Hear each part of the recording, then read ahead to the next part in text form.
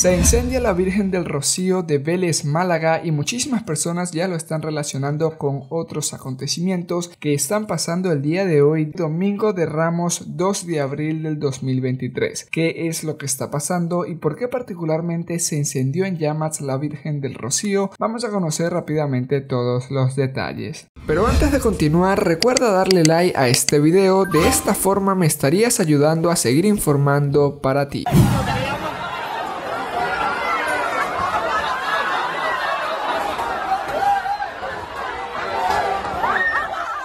Recientemente son muchos portales de comunicación que están informando sobre el susto que se han llevado miles de personas que en la tarde de este domingo de Ramos estaban disfrutando de la procesión de la Pollinica y la Virgen del Rocío de Vélez Málaga, incluso varios en las redes sociales asociándolo con el fin del mundo o sobre la llegada de Cristo por este pequeño acontecimiento. En España particularmente son varios los ciudadanos que están comentando que todo esto puede ser una profecía o un mensaje divino para la comunidad. Sin embargo, qué fue lo que pasó realmente, por qué se incendió la Virgen del Rocío. Según reportes de medios de comunicación oficial, una vela de la Candelaria de la Virgen se ha caído a causa del viento y ha prendido la saya y la imagen mariana cuando apenas llevaba una hora procesionando por las calles de la capital de Azarquia a la altura de la calle Virgen de la Paz. Y es que las imágenes del trono ardiendo y varios de los hermanos o feligreses de la cofradía intentando sofocar las llamas con sus manos incluso hasta con sus franelas,